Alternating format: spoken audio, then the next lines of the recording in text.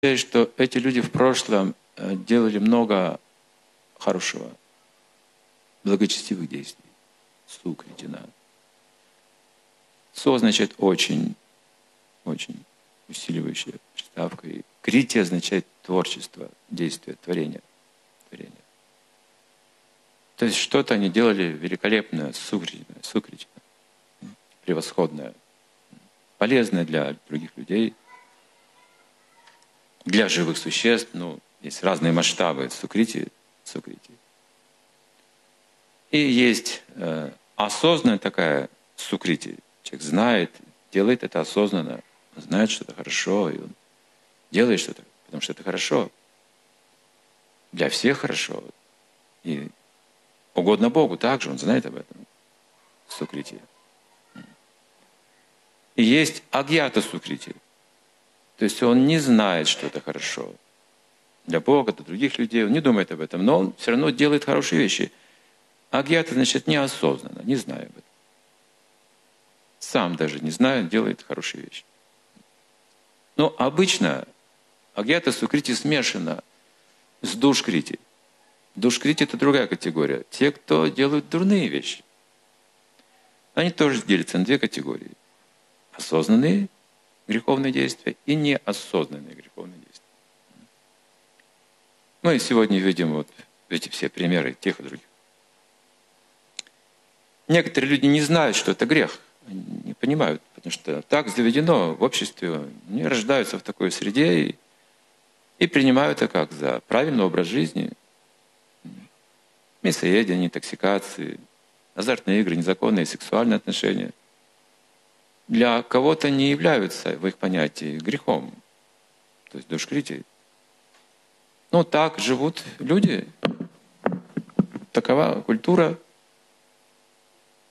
Что-то они скрывают в этой культуре, что-то они представляют на показ. Так живут все. Душкрити. Душкрити. И те, кто агьята Тушкрити, неосознанно совершают грехи, они называются невинные, невинные души. То есть не ведают, что творят, они просто от неведения такие. Либо не знают другой жизни, подражая всем. Но при этом эти люди не удовлетворены, несчастны. Несчастны. И они, вот эти люди, агьята душкрити, они склонны изменять свою жизнь, изменить свою жизнь, если получишь что-то, какое-то знание, гьяну. Невинные люди. Пропада, он сказал, что сегодня в обществе, в мировом, 90% с лишним невинных людей. То есть они неосознанно грешат, не понимают, что это грех. И если им разъяснить вот эти истинные Бхагавадгиты, они, скорее всего, примут их.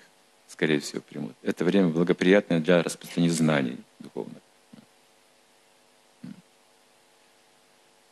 Но есть агьята сукрити. От чего оно зависит? Как человек может неосознанно совершить что-то хорошее, не понимая это? Ну, вот мы сегодня говорим о Санкиртане, это один из примеров. Сильно агьята сукрити. Преданные на марафоне выходят или просто выходят на улицу или идут просто к людям, к соседям, предлагая книги, правопады, используя какую-то возможность, где собираются люди, может быть, для других целей. Иногда преданные приходят туда на какие-то собрания или концерты или что-то еще мы так делали. И они несут все с собой книги правопады и показывают людям, коротко говорят, что это за книги, зачем, почему. Человек слушает, ничего не понимает. Какая-то йога, что-то индийское, это Кришна, да? Индийское что-то. Но так или иначе он соглашается. Хорошо, хорошо. Я возьму эту книгу. Что-то должен я, да, пожертвовать? Да, вот, возьмите. Я беру книгу. Он ее потом даже не читает. Просто как-то вот, по простоте душевной, своей доброты он купил эту книгу. Значит, Агьята Сукритин купил священное писание. Не знаю даже толком, что это такое.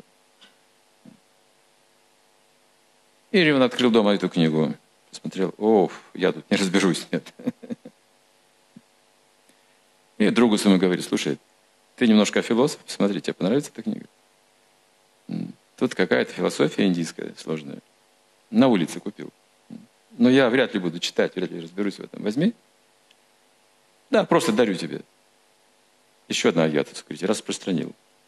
Священный. Не знает об этом, что он распространяет так сознание Кришны. Понятия не имеет. Или просто он увидел Харинаму на улице, и преданные, как сумасшедшие, там поют Хари Кришна, Хари Кришна, Кришна, Кришна, Хари, Хари, Хари Кришна, Хари Кришна, Кришна, Кришна, Хари, Хари. Одно и то же поют, и поют, и поют, и поют. И он домой приходит, у него в голове крутится Хари Кришна, Хари Кришна, Кришна, Кришна. И ночью засыпает Хари Кришна, да что ж такое?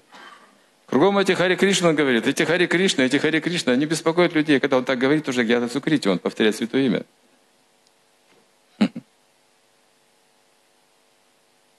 Если даже он попробовал просад, там кто-то его угостил просадом, Агьята Сукрити. Он не знает, что это в его жизни сыграет какую-то роль важную. Понятия не имеет. Не намерен это сделать.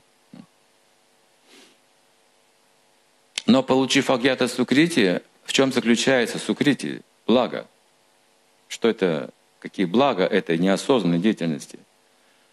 Пробуждается интерес. Он переходит из, из категории мутха, то есть глупого человека, человек, который начинает задавать вопросы, интересоваться жизнью.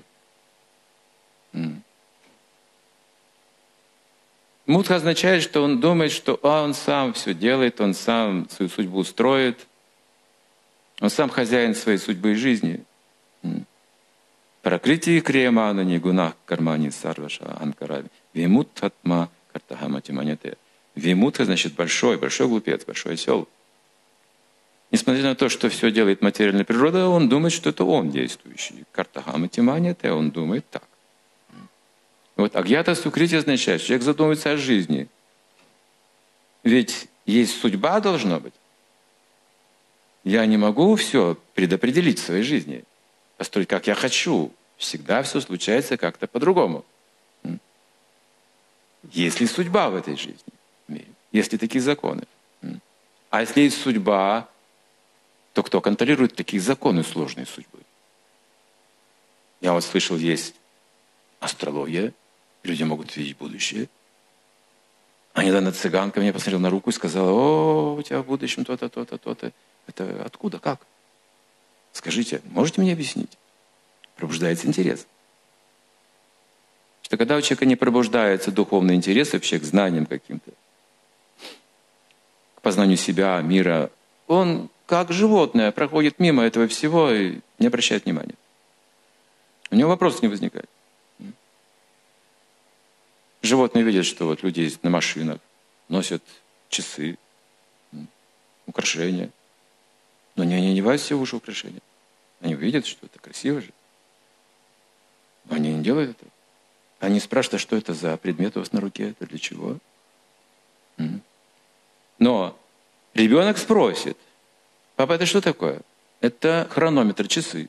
А зачем? А вот он время показывает.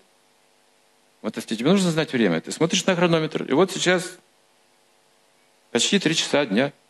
Вот тут он показывает. Видишь, стрелка идет постоянно. О, а мне можно такой хронометр? У ребенка заложена агиата сукрити, видите? Интерес. Потому что он видит и слышит. Это заложено труда в человеке. У животных не хватает агиата сукрити, но, тем не менее, они находят себе пищу каждый день это тоже запас. Благочестие, чтобы жить в определенной форме жизни. Этого достаточно для собаки, иметь хороший нюх, и она найдет каждый день себе свою пищу. Она так иначе устроена. Это тоже как бы ее благочестивая карма, что она самостоятельно, самодостаточно может жить. Но человек для самодостаточности должен еще иметь пищу для разума и души. Ему недостаточно иметь просто пищу каждый день. Ему всегда чего-то не хватает, то есть у него интерес. Вот Агьята Сукрити, она способствует духовному развитию, просветлению. Агьята Сукрити. Даже когда человек плохо думает о святых, он получает какую-то Сукрити. Все равно он думает о святых. Даже когда он говорит, что Бога нет, и я против Бога, все равно на Боге думает. Это тоже какое-то благочестие. Со знаком минус, но все же какое-то благочестие. Как одного атеиста спросили, он говорит, я борюсь против Бога. Говорит, если Бога не существует, то с кем ты борешься? Он задумался, действительно. Я борюсь с тем, кто не существует. Странное явление. Значит, что-то существует, раз я борюсь с этим. В первых шести главах Бхагавадгиты говорилось о том, что живое существо – это не материя, а дух, вечная душа. И что оно может осознать свою духовную природу с помощью разных методов йоги. В конце шестой главы было ясно сказано, что тот, чей ум всегда сосредоточен на Кришне, другими словами, тот, кто обладает сознанием Кришны, находится на высшей ступени лестницы йоги. Это конец шестой главы, как раз, где говорилось о йоге, об аштанга-йоге. Какая же йога, какой же йог превыше всех, выше всех. Там говорилось об этом в последнем тексте. Что же такое высшая ступень лестницы йоги? Только сосредоточив ум на Кришне и никак иначе мы сможем постичь абсолютную истину в полной мере. Человек, познавший безличное Брамаджоти или Параматму, пребывающий в сердце, не обладает совершенным знанием об абсолютной истине. Его знание лишь частично. Полностью познать абсолютную истину значит познать Кришну, ибо человеку, обладающему сознанием Кришны, открываются все тайны духовной науки. То есть есть тайны духовной науки. Открываются они непосредственно личностью Бога. С его позволения, при, при его личном участии. Этими тайнами обладает именно личность Бога. Таинственная личность, самая таинственная личность, самая непостижимая личность – это личность Бога. И, как Пропада он говорил, что если вы хотите узнать, что имеет в виду Шекспир в своих произведениях, вы должны спросить Шекспира – не кого-то другого. Если будете думать, я думаю, Шекспир сказал то, имел в виду другое, вы фантазируете. Если вы точно хотите знать, что имел в виду Шекспир, или Пушкин, или Достоевский, или Лев Толстой, то нужно обратиться непосредственно к автору, к источнику. Итак, если мы хотим узнать тайны мироздания, нужно спросить того, кто творил мироздание. Существует Творец – или если мы хотим узнать о Боге что-то позитивное, мы не должны обращаться к атеистам, которые не относятся к Нему позитивно. И отсюда рождаются эти вот сомнения, что человек получает информацию из неавторитетного источника. И беда в том, что люди уже получили неавторитетное знание. Во Франции учителя музыки обучают, частные уроки дают. Я слышал. Они брали в 90-х годах 5 франков за час урока. 5 франков за час урока. С того, кто никогда не занимался музыкой. Никогда. Не соприкасался с музыкой. 5 франков за урок. За час. А с того, кто уже изучал музыку, 15 франков брали за час. Труднее обучать. То есть они уже получили какое-то образование, они уже думают, что что-то знают. И они начинают не соглашаться, спорить, утверждать что-то, свое какое-то представление о музыке, или у них уже есть свой стиль какой-то, но они еще дилетанты на самом деле. И вот, вот преодолеть вот эту вот границу собственной учености и значимости очень трудно. Очень трудно. То есть для этого нужен квалифицированный духовный учитель, чтобы человека именно как бы исправить, не, не, не воспитать и образовать, а исправить намного труднее. Мы относимся к этой категории, потому что мы уже получили образование материалистичное, с такими же убеждениями, в таком же духе, с такими же самскарами, с таким же рождением. То есть глубоко в нас находятся все эти впечатления, которые мы получили в семье, в школе, в институте, в обществе, на улице, в клубах, в кинотеатрах, в ресторанах, где мы только не были, в поездках за границу, занимаясь деятельностью работы, получая за это деньги. Все это мы видели, и все это отложилось как наша настоящая жизнь. Настоящая. Но в глубине сердца мы чувствуем, что это не настоящая жизнь. Потому что она не приносит мне такую удачу и счастье. Но другой жизни я не вижу. Мне приходится жить так, как я живу. Испытывает это неудовлетворение. Называется называется невинный человек. Он живет неправильно, но он не знает, как жить правильно, и он страдает таким неудовлетворен. И эти люди, они ждут какой-то помощи. У них в сознании, в сердце есть вот это ожидание, что от кого-то должен получить что-то. В этой жизни я не должен же прожить просто так. Что-то должно случиться, важное в моей жизни. Должен встретить кого-то или что-то, что изменит мою жизнь, улучшит мою жизнь. Все хотят улучшить свою жизнь. Все до единого. Потрясающе. Практически 90 с лишним процентов. Люди готовы выслушивать что-то важное в своей жизни, которое им поможет. И, конечно, современная наука такая сложная. Современное образование такое сложное. Они так сложно представляют этот мир. Голову можно сломать вообще, чтобы изучить, скажем, там, философию современную или диалектический материализм или, не знаю, там, науку о бизнесе или психологию современную. Такие сейчас усложненные формулы вообще существуют. Это, это только человек с большим интеллектом может понять. И когда человек так образовывается на таком сложном уровне, у него представление возникает, что знание – это что-то сложное, сверхсложное, которое я не могу понять вообще, недостижимое для меня. Они не могут принять в толк, что достаточно петь Хари Кришна, чтобы достичь совершенства. Они не могут в это поверить. Они получили вот это образование по химии, по физике, по математике, по менеджменту, по политологии. Думают, боже мой, да тут нужны поколения, нужны века вперед, чтобы жить как-то, установить нормально, знаете, нужны столько усилий, столько людей, столько смен поколений. Откроем шахту, говорит, просто обращаешься к Богу, достигаешь совершенства. Но у меня сукрити не хватает, я не могу обратиться к Богу искренне. Мне легче разговаривать с деревом, и то меня сумасшедшим посчитают, чем с Богом. Есть люди, кто с деревьями общаются, с Богом не могут. С собаками общаются, с кошками общаются, понимают друг друга. С кем только не общаются. С иностранцами общаются – с Богом не могут общаться. И интересно, что когда человек не может с Богом общаться, он теряет одну интересную способность. И самую важную – общаться с самим собой. Находить ответы в собственном сердце, что Бог находится именно там. Они могут понять себя. Такой круг общения, целый мир. Ну так все сложно, а ведь только потому, что ты себя не знаешь. Вот и все. Вот в чем сложность.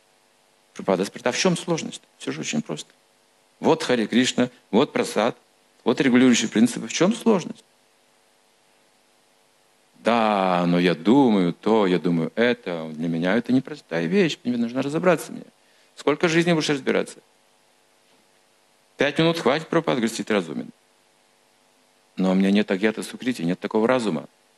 Нет даже интереса к этому. Я говорю только, сколько проблем.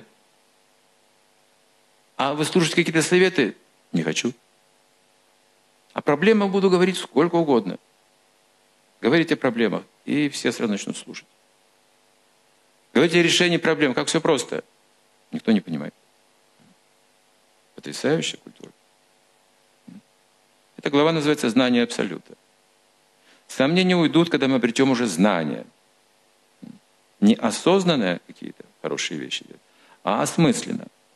И даже в практике сознания Кришны требуются годы, чтобы ум очистить от предыдущих ложных самскар, которые мы выучили, которые проникли еще с пятилетнего возраста в наше сердце и разум. До сих пор люди считают, что жизнь, жизнь произошла случайно в этом мире. Случайно. Они не могут представить, что душа вечна. До сих пор они не могут принять вот эту концепцию вечности души, они не могут осмыслить, потому что им не давали таких самскар в сердце, радости. Они получили радости от слова «вечная душа». Хотя формула красивая. Вечная душа – это же красиво. Это же здорово. Но они им говорили о душе не с радостью, а с завистью. Бога нет, души нет. Вечность есть, души нет. Вечность и есть душа. Вечность есть душа. Покажите вечность в материальном мире, вы не увидите ее. Но все знают, что она существует. Мир вечен. Вот эта вечность описывается. Это есть душа ее. Первый аспект познания – сад. Вот она.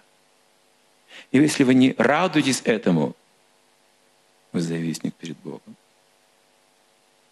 Если вы принимаете ложные концепции, вы обращаете внимание, что временные вещи истины на самом деле. Я знаю, что они временные. Но кому приносит радость временная истина? Люди живут, опираясь на временные истины, но они испытывают счастье при этом. Парадокс. А потому что им вложили вот эту веру искусственно. Искусственно. Вот это называется современное образование. Это искусственное образование. Никто не объясняет, кто вы на самом деле. Пропад говорит, что даже большие ученые умы сегодня не могут ответить на этот вопрос, кто он, этот ученый, кто я, спросите его.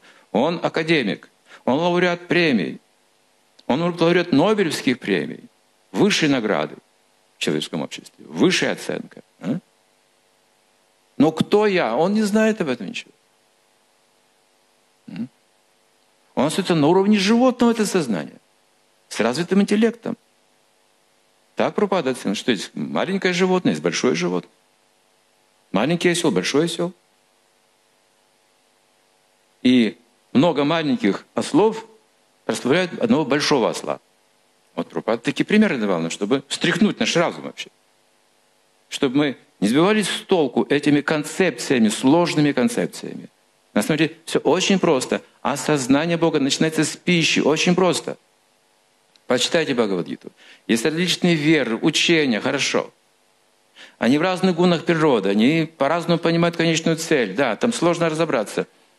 А можно без учений понять человека, не спрашивая о каких-то учениях, о его там смыслах, он может сам не знать об этом ничего. Как понять? По пище, говорится. Очень просто. На всякого мудреца довольно простоты говорится.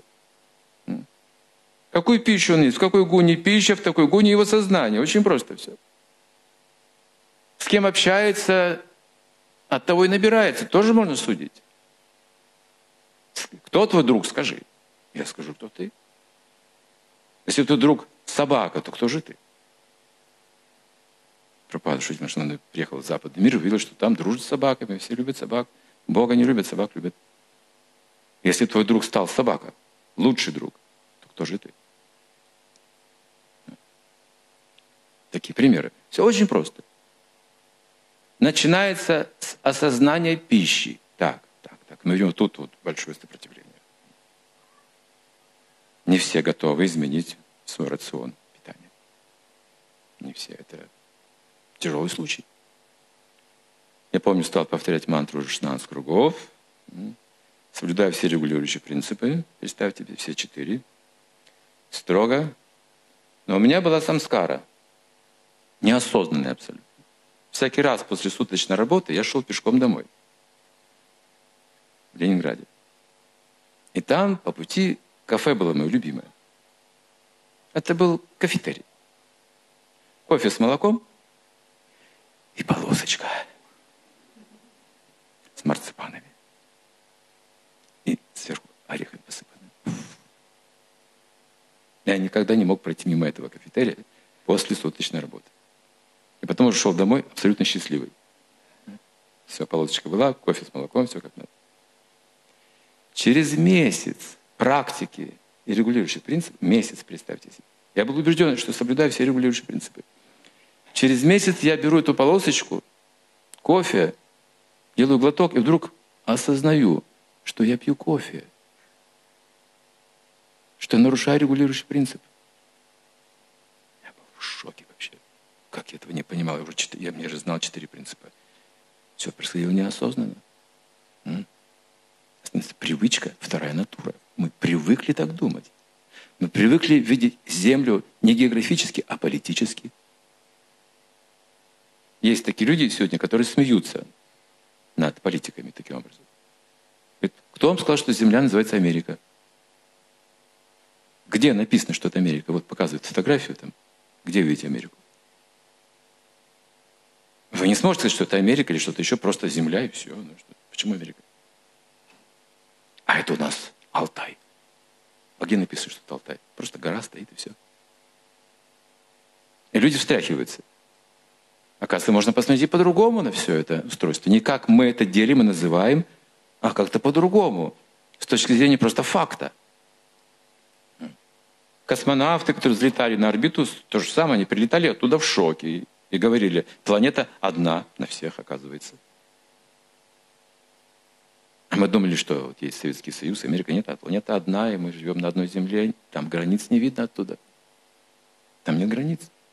И действительно, птицы летают куда хотят, через границу прям, без виз. Декларации не заполняют, язык не изучают. Мы на одной границе стояли, то не знаю, несколько часов на машине. Это в Молдавии. Несколько часов нужно было стоять, и там все эти проверки, нервотрепка, там документы, там на вас смотрят, как на... Подозревают любого, конечно, и вы там стоите виноваты уже в очереди. И собака бегает туда за границу, сюда за границу, туда ее там кормят, там кормят. Никто не замечает ее вообще. Прямо на глазах все происходит, люди ничего не понимают. Жизнь означает свобода. А как мы потеряли свободу? А мы сомневаемся в истине. Поэтому мы должны установить свою истину. А что значит своя истина? У меня своя истина, у вас своя истина. Надо границу сделать между этими истинами. Знаете, они как-то не сочетаются, эти две истины. Вот так появляется граница. Очень прощенный пример. И жизнь становится сложной. Очень сложной. Уже есть в природе вещей границы, естественные границы. Например, Чукотка, там люди живут. Знаете об этом? Вечной мерзлоте. Границы открыты, можете переезжать куда угодно, не уедут. Природа тоже нам дает естественные границы. Мы любим свой край. А если не любим свой край, нужны границы.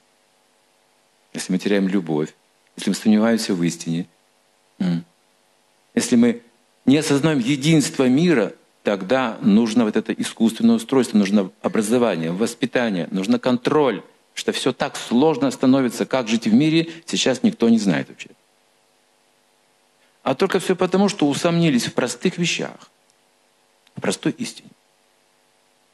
Что имя Бога и сам Бог одно и то же. Очень просто. А как мне докажете при помощи физики или химии? Можете мне показать какой-то эксперимент, что в пробирке показали Бога потом. Вот он, видите, явился. Не тот метод Прупад говорит. Это невозможно. Вы не сможете таким путем а агностиков, эмпириков увидеть Бога. Вы не можете заставить и при помощи какого-то эксперимента проявиться. И они говорят, а кто видел Бога? Да, Прабхупад, а у вас глаза есть? Глаза нужны соответствующие. Сначала нужно глаза обрести. У вас на глазах катаракта, смотрите, вы ничего не видите. Надо снять катаракту, вам к доктору нужно идти сначала. А вы бросаете вызов с таким зрением и говорите, а кто видел Бога? Я не видел Бога. Да ты, собственно, носа не видишь. Мы вообще ничего не видим толком. Сидя в этом помещении, что мы видим? Нам кажется, что мы все видим. Да ничего мы не видим. Уже за этой стеной мы ничего не видим. Но настолько мы ограничены в своем как бы вот воплощении. Ну, подумать только. Одного священника, который занимался врачеванием, его посадили в лагерь за веру. И там его допрашивали, мучили и спрашивали, где ты видел Бога вообще? Зачем ты распространяешь все эти идеи о Боге? Ты еще ученый, ты на людей влияешь. И начинают верить в Бога. Кто видел Бога вообще? Я, я нейрохирург. Я много раз вскрывал череп людей, чтобы делать операции на мозг. Когда я вскрывал эту коробку черепную, я там не видел ума и разума. Как вы хотите увидеть Бога? Мы уже эфир не видим, думаю, пустота. Вот эта концепция. Из пустоты все появилось. Мы не видим эфир, мы не видим, не воспринимаем его. Мы не видим ум, не видим разум, не видим ложное эго, мы не видим душу, не видим Бога. Мы... Что мы видим вообще? Мы видим материю в ее четырех лишь проявлениях. Земля, вода, огонь, воздух. Эфир уже, воздух уже не видим. В трех. Земля, вода, огонь видим. Все. Уже воздух не видим. Ну, осязаем, догадываемся, воздух есть. Все-таки. А эфир даже не осязаем. И даже по слуху не сразу понимаем, что это эфир. Хотя звук представляет эфир в этом мире. Даже это трудно объяснить современным физикам многим. Что эфир это не пустота, а это материя, это состояние материи. Это такая же материя, как земля, вода, огонь и воздух. То же самое, только в другом виде. Вы можете представить, что земля и вода это одна и та же субстанция. Даже это нам трудно понять. Но эти химики, эти физики, они внедрились в эти молекулы атомы. Говорят, нет, нет, нет, смотрите, это все ядро атома, электроны, молекулы. Да, это одно и то же. Материал строительный один и тот же.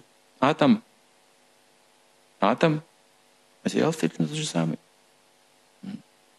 Значит, между водой, землей, воздухом и огнем разницы нет. Различное состояние атома. А эфир что такое? Это что? Атом. Это поле, они говорят. Они там не видят частицы. Они знают, что частица – это часть эфира. Частица – часть эфира. Неотделимая часть эфира. Вот это они не знают. Из эфира можно получить все что угодно. Именно из эфира проявляются все остальные материальные элементы. Из эфира, из пустоты, так сказать. Некоторые йоги, они поражают воображение вот, людей совершенно невинных, глупых. Они берут из пустоты какой-то, материализуют предмет дорогой. Люди, вау, это Бог. Нет, это просто некое знание мистическое. Просто немножко выше знания и все. Если я могу из пустоты делать золотые монеты, то зачем работать? Если все есть в эфире, то почему так много усилий? Что главная составляющая эфира, включающая эфир, это звук. И вот на это нужно обратить особое внимание. Какой звук творит материю, а какой звук разрушает материю? Звук творит все. То, что мы говорим, то мы и думаем. Смотрите. По звуку формируется умонастроение. Умонастроение создает характер тела. И деятельность тела зависит от характера. То есть со звука формируется все постепенно. И привычки, и образы, и знания, все передается по вибрации звука. И есть звук, который разрушает все эти материальные стереотипы ложные. Это звук апракрита, то есть трансцендентный звук. Это имя Бога. Все очень просто. Но пока мы не, не, не услышим какие-то научные подоплеки к этому, или близкие к научным подоплеке, нам трудно это воспринять серьезно. Без сомнений. Даже повторяя именно Бога, мы все еще продолжаем сомневаться. Но сомневающая душа, которая повторяет именно Бога без веры, она не достигает успеха. А Шрадатана Пуруша говорится, без веры невозможен прогресс. Невозможен прогресс. И как эту веру обрести, мы общаемся с теми, кто обладает уже этой верой. Все очень быстро происходит и просто. Кажется недостижимо. Как это доказать-то, как это поверить? Это невозможно. Это как? Нет, идите общайтесь не с собаками, а с преданными. И сразу получаете веру, сразу мгновенно можете ощутить, да, да, да, да, все просто. Просто освященная пища, просто святые имена – Просто знание получаете изначально от Бога, не от кого-то еще, нет атеистов, не от кого-то вот этих учителей, которые сами ничего не знают о себе. Не от ученых, а от Бога. Вот, есть источники. Не сомневайтесь в этом. Сомнение порождает лицемерие. Внешне я верующий, но внутри я материалист. Это ложь. Это ложь, описывается. Бхагавадгите говорит, если внешний человек отрекается от объектов чувств, внешне, чтобы выглядеть святым, внешне он себя, ну, в уме он думает об этом. Кто он? Обманщик. Написано в. Лицемер. И мы видим, сколько нам нужно усилий, чтобы стать честными людьми внутри, внутри себя, внутри себя. В мире мы уже честные уже люди, да? Все знают. Мы знаем эти законы, мы пытаемся жить по этим законам, как бы честно. Но внутри себя, чтобы стать честным, оказывается, какая большая работа, как это трудно. Бороться со своим собственным невежеством, с сомнениями, когда уже все доказано, уже есть примеры, и все же трудно встать на этот путь, полностью предаться Кришне. Без сомнений. На всякий случай я еще останусь атеистом. Мало ли что. Вдруг окажется, что все-таки Бога нет. Я хочу, чтобы он был, да, но всякое бывает. А вдруг? Одного атеиста я спросил однажды, вы что, не верите в Бога? Разговор зашел. Говорит, я не скажу, что не верю в Бога, нет. Что вдруг он есть? На всякий случай я не буду это говорить, нет, нет. Такие умные люди, знаете. И они в моде сегодня такие люди, понимаете? Они, они Говорят и во всем сомневаются, даже в том, что не говорят, сомневаются, это модно. Сомневаешься человек сегодня в моде? Я вам скажу вот так. Но и в этом я тоже сомневаюсь. О, какой вы потрясающий человек. Во всем сомневаетесь, что говорите, все во всем, что слышите. Это потрясающая личность вообще передавая. Если говорит, я верю, да ты сектант. Это же секта. Веришь. Не сомневаешься? Нет, ну фанатик. Сектант настоящий. Ну, радостный, конечно, но сектант. Счастливее меня, но все равно сектант. И здоровее меня, но все равно сектант. И знаний у тебя огромное количество, но все равно сектант. Одно словник только есть, секта. Хотя тут такая наука великая, культура великая, кухня великая, музыка великая какая. Все великое. Говорит, ну, ну, ну, великая, ну секта. А мы не великие, мы страдаем, но мы настоящие. Вот мы люди, мы, мы страдаем. Вот она, наша гордость. И не просто же мы страдаем. И кто больше страдает, тот лучше всех. Сумасшедший народ.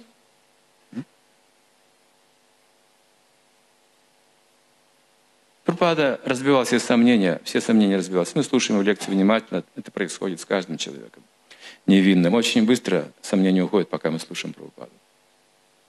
Вот этот момент нужно уловить в себе. Вот прямо сейчас. Раз, нет сомнений у меня. Что нужно делать? Иди проповедуй. Не пойдешь проповедовать? Вернуться сомнения снова. А они имеют природу хищника. Знаете, как тигр охотится? Сразу не нападает. К вам подходит, просто вот так и смотрит. Он проверяет. Он очень опытный убийца. Самый опытный природный убийца – это тигр. И пума еще. Самый коварный из хищников. Он сразу может не броситься. Он подойдет и будет смотреть вам в глаза. И вы тоже в глаза смотрите. Вам нужно выдержать в этот момент. Потом он уйдет. Не спешите отдыхать. Он абсолютно бесшумно зайдет со спины сейчас. Он продолжает охотиться. Он не прекратит. Это его природа. Нужно знать, повадки материальной природы, сомнения материальные. Они всегда возвращаются с неожиданной стороны. Какая сегодня была лекция о Кришне. О, я буду повторять Хари Кришна. Прихожу домой, а мне говорят, а ты знаешь, что я в интернете увидел? Секта тоталитарная. Вау. И тигр меня перегрыз глотка. Поймал таки. Ну, кого вы слушаете? Неужели непонятно, вы слушаете людей, которые не обладают духовным знанием. Слушайте, средства массовой информации, что они дают вам? Одни беспокойства. Думаете, они реальность отражают? Нет. Все, что они отражают, это нереальность. Это низшая гуна природы. Это низшая реальность. Это самое примитивное представление о жизни. Один человек убил другого человека, и сразу все говорят об этом. Вот этот человек убил, вот фотография, вот как он убил, вот, вот следствие, все подробно, все хотят знать об этом. Это считается знанием сегодня тоже. Идите в лес, посмотрите, там едят друг друга животные каждый день.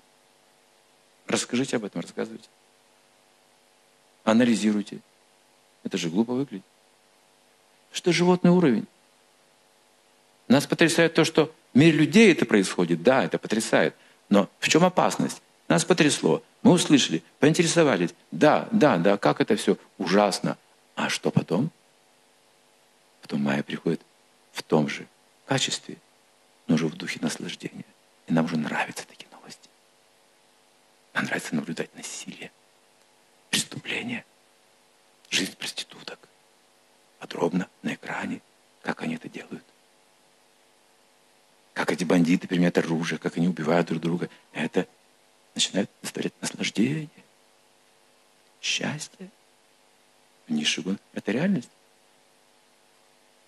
Это можно назвать реальной жизнью? События реальны, но жизнь, проживая внутри, нереальна. Она демоническая жизнь. Это искаженная, извращенная жизнь. Бессмыслица. В невежестве полном. Человек не должен наслаждаться такими низкими гунами природы. Должен осознать высшие вибрации, чистейшие вибрации.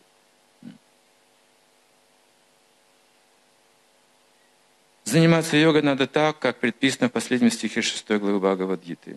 Сосредоточиться, сосредоточить на Кришне, Верховном Господе. Можно только преданно служа Ему. Если полностью, непрерывно, только в преданном служении. Это возможно. А так на минуты, на секунды, это умозрительно. Преданное служение Господу состоит из девяти видов. Первым и самым важным из которых является шраваном. Вот почему Господь говорит здесь Арджуне, тачрину, эту вот фразу Прабхупада выделяет из стиха. «Слушай меня, тач шрину». Очень важно, очень важно, очень важно. Мы применяем эту фразу, когда хотим над кем-то доминировать. «Слушай меня». Меня слушай. Помолчи, меня послушай. Тачрину, тачрину. Это Бог говорит, это его фраза. Это не наша фраза. Мы должны говорить не так. Послушай Бога. Не меня. Бог говорит, его нужно слушать. Послушай Бога. Что он говорит в Бхагавадгите? Вот мы должны общаться с этим миром. Не тачрину мы должны говорить про себя. Это Кришна может сказать. А мы говорим, послушай, что говорит Бог. Послушай, что говорят святые, что говорят учителя. Вот как правильно ответить. Слушай меня, это демоническое извращенное сознание. Делай, как я сказал, слушай меня. Замолчи. Я тебя сейчас убью вообще. Ты меня не слушаешь. Но если мы говорим Шри Бхагавану Вача, и сразу все начинают слушать. Что же скажет Бог? Естественным образом. Если мы сознаем вот это Шри Бхагавану Вачи, значение, если мы сознаем, сразу все сосредоточится. Преданные такие. Если мы говорим, Пропад сказал, и все, готовы слушать. Пропад сказал. Если кто-то говорит, я скажу сейчас, тут это не пройдет. В обществе преданных этот номер не придет. Никто это слушать не будет. Нет наставника более великого, чем Кришна, поэтому тот, кто слушает его, получает редчайшую возможность обрести совершенное сознание Кришны. Духовное знание надо получать либо от самого Кришны, либо от его чистого преданного, а не от мирской выскоч... мирского выскочки, кичащегося своей образованностью. Процесс постижения Кришны, Верховной Личности Бога, абсолютно истинно описан во второй главе первой песни Шримад Бхагаватам. Шривантам свакатха Кришна пуня Шравана Киртана.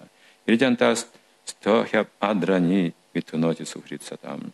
Нашта прадеш абадришу нитям Бхагавата севая. Бхагавати тамашлаке бхактир бхавати. Знаешь такие? Здесь прям приводится вот много стихов. Слушание повествования о Кришне, изложенных, изложенных в ведических писаниях, или слов самого Кришны в Бхагавадгите, само по себе праведно, Видите, что такое агьята сукрити? Просто слушайте о Кришне. Накапливается агьята сукрити. Просто. Видите, как все просто. Что сложного? Ну, агьята сукрити, то, что нужно рыть колодцы, сейчас сажать деревья, там много чего сделать, там благотворительности. Как это сложно сегодня найти средства для такой деятельности и организовать ее. Очень трудно.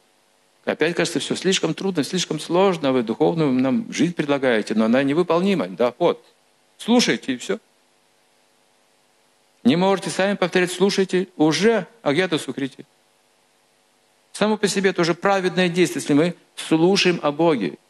Не о себе, не о ком-то другом, а о Боге.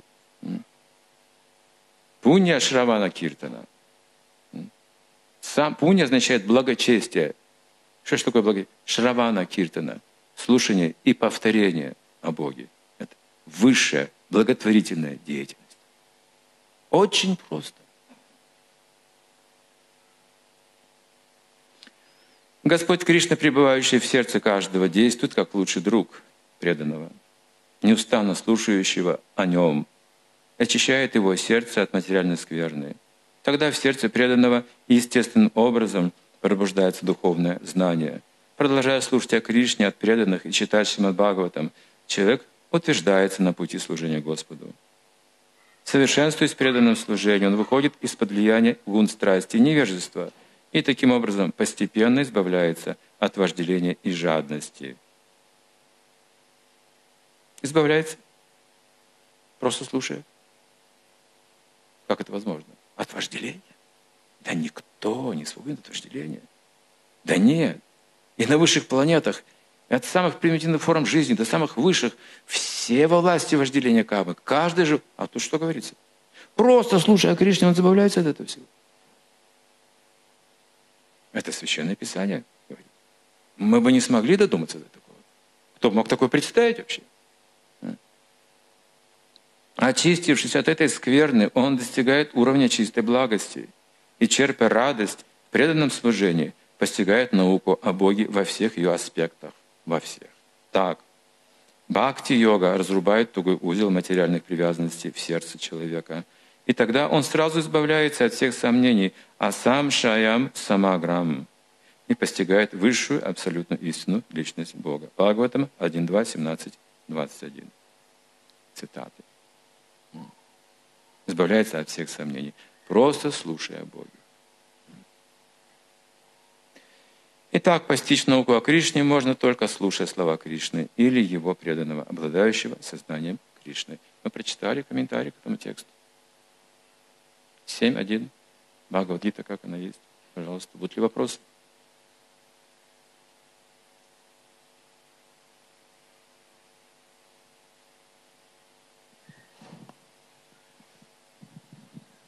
Харе Кришна.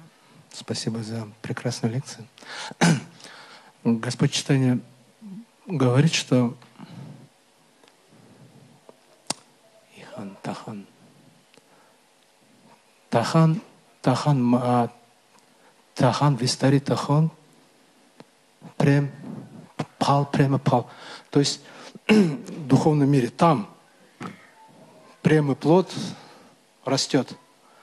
Тогда как здесь Ихан, Мали, Сечен, Нитя Шравана Диджал – а, человек должен поливать это семя шраваны, а водой слушание и повторение. Это одновременно происходит или как-то сперва он здесь льет, а через какое-то время или это все происходит как все вместе?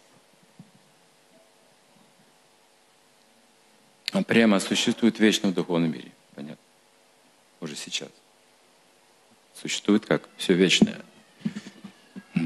Это наша вечная среда. Откуда мы вот родом, так сказать, да? Мы родом от любви, от прямой.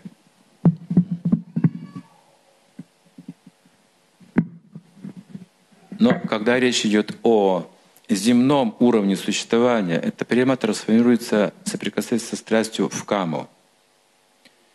Здесь мы видим плод камы, Значит, ребенок, рожденный от мужчины и женщины, это плод камы, плод сексуальных отношений.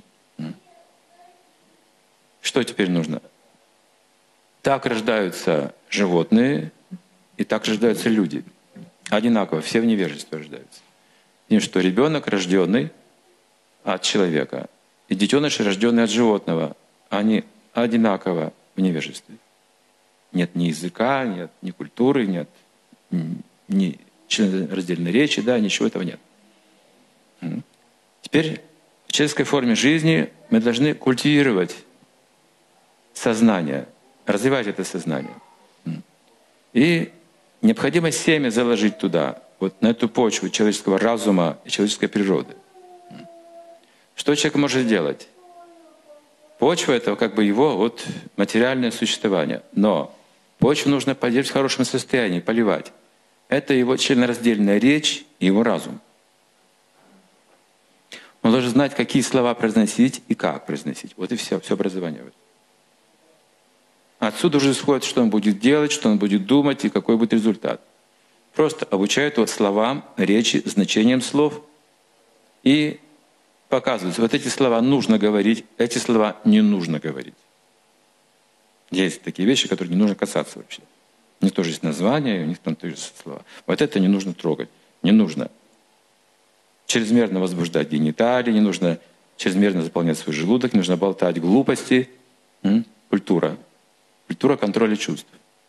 Вот это называется, это семя бхакти, он получает самскару от духовного учителя, как и все самскары, их 16 самскар он получает в течение жизни человека, чтобы жизнь очистить свою. С рождения до смерти есть 16 самскар. Одна из них — это посвящение, инициация. Виваха яги также это самскара — прием а, первых зерновых тоже самскара, когда он просад впервые получает зерновой, на всю жизнь самскара закладывается, когда отрезание волос первых самскара и другие, 16 существуют. Мы не получили этих 16 самскар, но мы получили дикшу. Дикша означает Закладывается семя. Бхакти это биджа. Самскара — семя. Как семя. Это, это самскару, это духовное семя впечатление, духовно реальное, закладывается в сердце, и теперь мы должны при помощи речи поливать этот росток. Имена Бога мы произносим. И прекращаем греховную деятельность телесную. И наша кама превращается прямо Так же, как она превратилась в каму прямо, из камы можно снова обратить ее в прямо.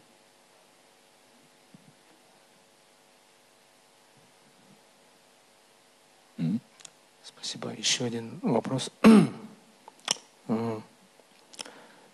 Нарадамуни говорит, что гопи обрели любовь благодаря каме, да? Гопая, кама, кам, двещат камса, камса, благодаря ненависти. А потом вричная самбандат благодаря родственным отношениям врични. А юям снехат, то есть пандавы благодаря снехи, и ваям бхактя ваям випхо, да, то есть вот эти пять методов обретения любви. Но дальше э, Нарада Муни говорит, что катамапи навена сят, то есть любой, кто не, не как только лишь царь Вена, на Вена сят, э, Пурушам, э, Пурушам, Кришна Пурушам Прати по направлению, а, Панчана Пурушам Прати, любой, кто эти пять методов направляет к Кришне – Пурушам, Панчанам, пять этих методов. Тасматкина Пиупайна, Мана Кришна не вешает, да, то есть так или иначе занять свой ум этими пяти методами. Что такое, что, в общем, натворил Камс, о, царь Вена, что даже он не мог ну, получить? А, чем отличается царь Вена? Он себя поставил на место Бога. Один отличается от других. Он себя поставил на место Бога. А когда к нему пришли браманы и сказали, что ты должен людей занимать служением Богу, не себе, от имени Бога действовать, не от своего имени, очень разгневался и сказал, вы едите мой хлеб, я ваш царь, я вас кормлю, я вас обеспечиваю, я вас защищаю. И вы мне такие вещи говорите? Вы знаете, что тело царя олицетворяет всех полубогов, верховную личность Бога. Я Бог на земле.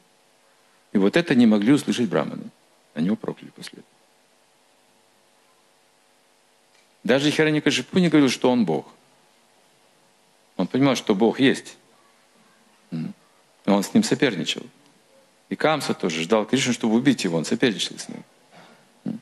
Но царь Вена был исключением. Видите, он уже себя возомнил Богом и был проклят браманами. Такого святотатства никто не мог выдержать. То есть это Майявада. Все, кто угодно могут к Кришне приблизиться, кроме Майявади. Есть анекдот, я его слышал, знаете где? Это в Осетии. В Осетии, там такие кшатрии, да, живут потомственные, природные.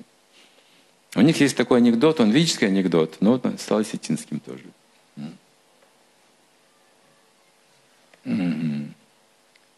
Священник один молился Богу, обряды совершал там для людей, молился за людей. И был э, охотник один, который ненавидел Бога. Он ходил, значит, по полям с ружьем. Где этот Бог вообще? Вот если его увижу, сразу застрелю вообще. Вот искал его. Где он? Я вот сразу застрелю. Настал день смерти обоих. И священника, и этого охотника – и священника, значит, в ад волокут, а охотника в рай. Ну и священник, он первый возмутился, как так, я тут всю жизнь Богу служил, и тут обряды проводил. А он тебя хотел убить вообще, и ты его в рай. Говорит, нет, ты не служил мне, ты просто бизнес делал, ты работу выполнял, ты обо мне не думал, ты мне, меня не верил вообще, ты в обряды верил. Поэтому пойдешь вот сейчас очищаться. А охотник, говорит, верил в меня. Искал меня, говорит, всю жизнь. пойдет в рай, говорит. Таков Кришна.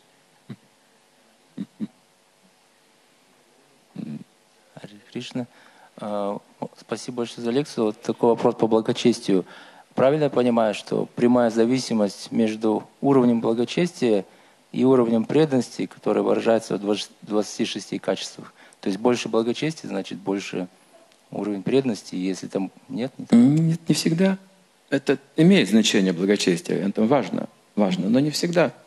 Бывает, грешники предаются Богу быстрее, чем праведники. Это вопрос только желания, говорят ачарии, даже не благочестия. В Бхагавадгите в 13 главе это подтверждается.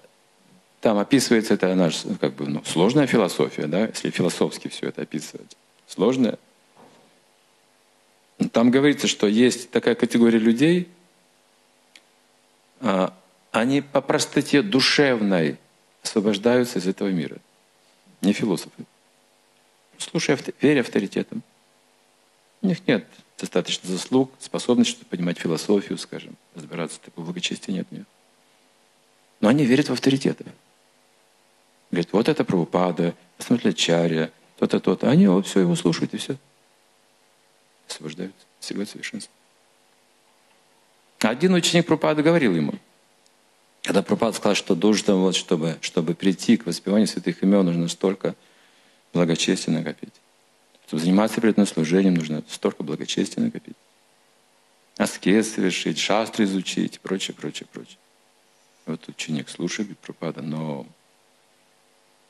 я не сделал ничего хорошего в жизни, ничего благочестивого. Я вообще хиппи, я наркоман – от меня, меня отвергли семья вообще, общество. Нет никаких заслуг. Но почему я повторяю вместе с вами Хари Кришна? Я не знаю веды, никаких аскез не совершал, ничего. Меня нет никакого благочестия. Так почему же я вместе с вами сейчас повторяю святое имя?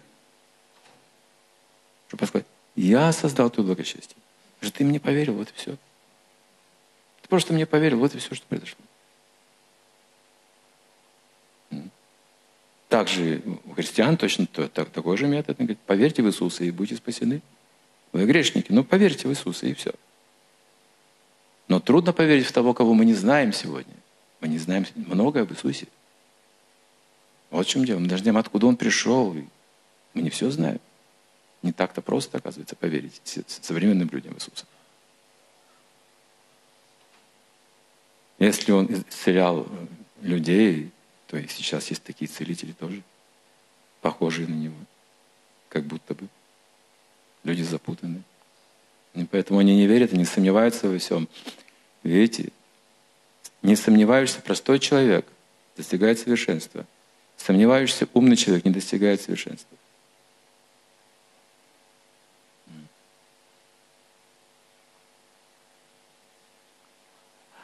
Гурдев, спасибо большое за лекцию. Тут вопрос Ютуба из трансляции. Почему, если не проповедовать, то сомнения вернутся снова? Это звучит очень странно, будто бы человеку необходимо убеждать кого-то, чтобы самому убедиться, а без этого он не уверен.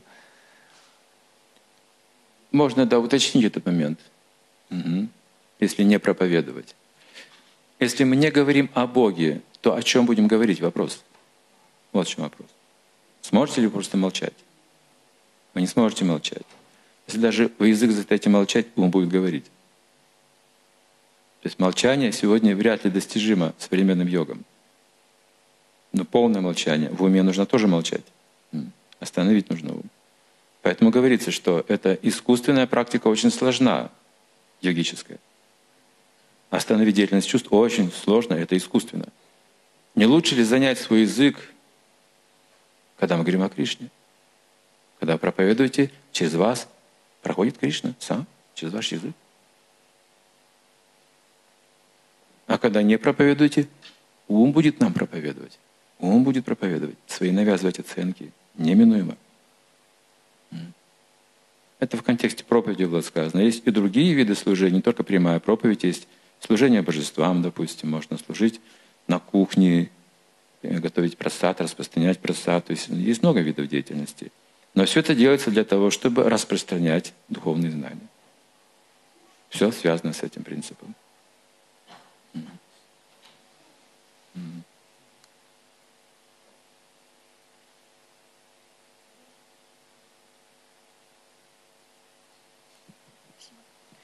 Хари Кришна, спасибо большое за лекцию. У меня вот такой вопрос во время лекции возник, потому что вы говорили, ну, то есть до этого я вашей лекции слышала то, что сомнение — это функция разума, и а, наоборот, таки в жизни я часто вижу, что очень благочестивые люди, они часто сомневаются при этом, как, э, в то время как, наоборот, а, демоны, они очень уверены в себе, даже если они делают что-то плохое, они с большой решимостью и уверенностью это делают.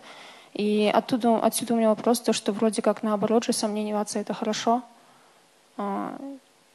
Ну, э, это хорошо, пока не препятствует духовному развитию все хорошо в меру, да, в меру говорится. Сомнения тоже имеют разумную, а, разумное применение в нашей жизни, разумную меру.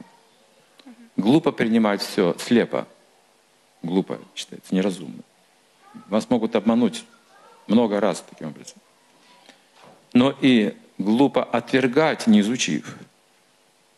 Вот о чем речь идет. Сомневающиеся души даже не изучают этот предмет. Вот это проблема. Это неразумно. Это отсутствие разума. Если речь идет о душе, о вечности души, о таких ценностях, о достижении вечной жизни, об освобождении от материальных страданий, от рождения и смерти, о любви к Богу, такие ценности, ну хотя бы проверьте это. Хотя бы заинтересуйтесь этим. Так люди, которые уверены ну, в том, что они все знают, ну, там как бы уверены, неважно, что это, это, скорее всего, даже не преданные, и когда они сталкиваются с, с преданными или с этими знаниями, они как раз-таки отвергают, потому что они уверены, что они живут правильно. А у людей, которых хватает, хватает благочестия соприкоснуться с знанием Кришны, то они а, долго сомневаются, а правильно ли они до этого жили, и поэтому принимают. То есть я, я так видел, ну, видела и так вижу.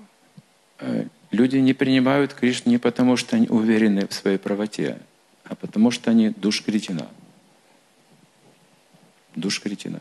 Это в Гите четыре категории людей, которые к Богу не обращаются, называют душ кретина. У них запас греховной деятельности не дает им возможность заинтересоваться этим предметом. Даже эти успешные люди, которые считают, что у них должно быть все правильно, они должны признать, должны признать, что жизнь временна. Их ценности временные, а душа вечна. Как же мы могут быть уверены, что они правильно живут? Как они могут? Если они услышат такие вещи, почему они утверждают, что они живут правильно во временных ценностях? Это душкритина, поймите. Это люди, которые а, сознательно отвергают ценности духовные. Нет вечной жизни. Они отрицают вечность. Ученые доказали, что вечность существует. Просто не знают, что это такое. Но она существует. Вся энергия любая, она вечна. Это ученые доказали. Почему они говорят противоположные вещи? Это душкритина.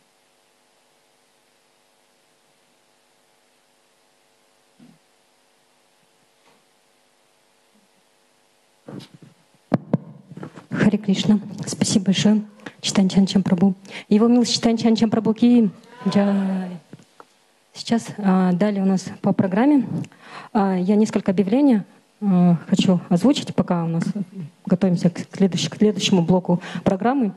Сегодня на просад пожертвовала супруга Нантарам Прабу она пишет, что вчера было 9 месяцев э, со дня его ухода. Просьба, а, она просит помолиться за него. Давайте три раза повторим Махамантру за Натарам Прабу. Кришна, Кришна, Харе, Харе. Харе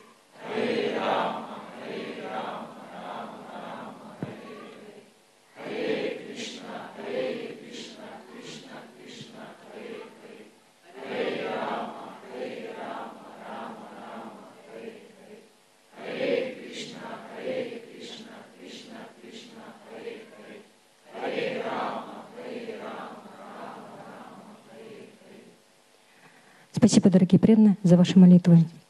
А, далее еще одно объявление. 27 а, января здесь, во Вриндаван парке, будет Киртан Мэла. 5 а, часов погружения Святое Имя. Оно начнется в 3 часа дня, закончится в 8 часов вечера. Киртани будут его милость Читания, Читания Чандра Чарам Прабу, ее милость Гаура Чандрика Матаджи, его милость Бимал Кришна Прабу, ее милость Сурья Нандини Матаджи, его милость а, Махадат Кишая Прабу, ее милость Анапаяни Матаджи, его милость а, Стока Кришна Прабу и ее милость Манджари Рупи Матаджи. Так что, дорогие преданные, приезжайте 27 января, запланируйте, пожалуйста, в своем графике это мероприятие. Так что Санкиртан Яги, для нас это очень важно, повторять совместно святые имена Господа. Спасибо. Далее у нас теперь